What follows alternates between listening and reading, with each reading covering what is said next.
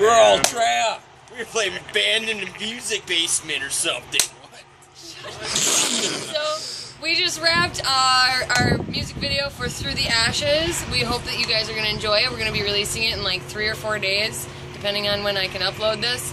And uh, the premise around the video is all about rising above bad shit that happens to you and just like forgetting the past and moving forward, upward and onward. And chicken. Forever ascending. Popcorn.